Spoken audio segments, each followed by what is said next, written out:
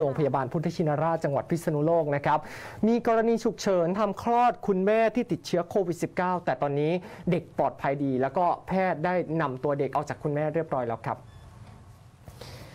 แพทย์สูติกรรมนะครับโรงพยาบาลพุทธชินราชจังหวัดพิษณุโลก มีการทำคลอดคุณแม่อายุ 29 ปีนะครับที่ป่วยเป็นโควิด มีภูมิลำเนาเป็นชาวอำเภอเมืองพิษณุโลก ซึ่งเป็นผู้ป่วยโควิดครับมาจากโรงงานแห่งหนึ่งในจังหวัดพิษณุโลก ด้วยอาการระดับปานกลาง แต่ด้วยที่ได้ตั้งครรภ์มาแล้วนะครับประมาณ 34 สัปดาห์ 6 วัน จึงได้ปวดท้องคลอดลูก ทางแพทย์สูติกรรมโรงพยาบาลพุทธชินราชเองก็จึงได้นำตัวคุณแม่นั้น มากับเตียงความดันลบครับแล้วก็เข้าห้องผ่าตัดทำคลอดออกมาได้อย่างประสบความสำเร็จในเวลา 12 นาฬิกา 25 นาที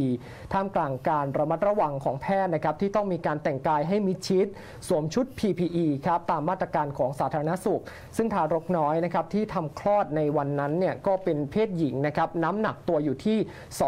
2,190 กรัมครับค่ะโดยหลังจากการผ่าตัดนะคะ คุณแม่และทารกน้อย